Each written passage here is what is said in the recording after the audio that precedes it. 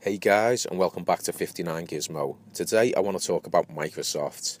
Now, on March 20th of this month at GDC, which is uh, the Games Developers Conference, Microsoft will unleash DirectX 12 upon the world. And what does that mean if you've got an Xbox One? Well, it's good news because basically it's going to be a brand new development kit. This is going to help developers massively. It's basically what it's going to do is get a lot more out of CPU and the GPU in terms of graphics. And this is really great news. So we're going to get a lot better SDKs out. Now, for anyone who doesn't know what an SDK is, it's a software development kit for developers. So what it means is just easier use to develop for the platform. So you'll squeeze more juice out the box. So you're basically going to get better graphics and better visuals, and the developers won't have to play around trying to find out how to develop for it because it'll just be easier for them. So we'll just get better games and it'll come faster, and it'll just be look a hell of a lot better. So this is really good news if you got an Xbox One. Um, you know, obviously before the Xbox come out, Microsoft had a bit of time to like go back in and up the CPU, and then the next month they were upping the GPU. And Microsoft have known about this; they know this is coming.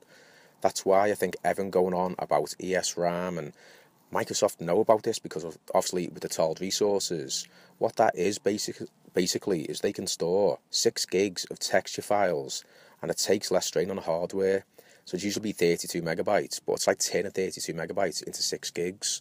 So it's quite complex. But if this turns out to be true on the Xbox One, this is great news. It's still early days, and we're going to have to wait and see how it plays out at GDC.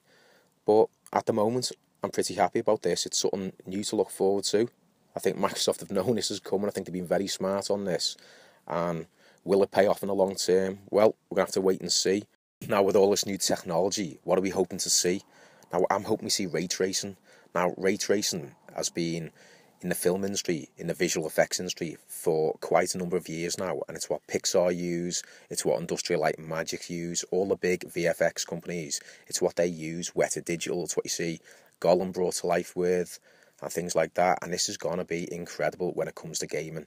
It's a completely different level of lighting, of texture detail, of translucency, and this is this will come to the PS4 and to the Xbox One. It's just going to be when. It's going to be a matter of time. But this is really good news for the future of gaming. And guys, that's my video. I hope you can subscribe to the channel. I hope you enjoy it. Leave some comments. I'll get back to you. Thanks very much for watching.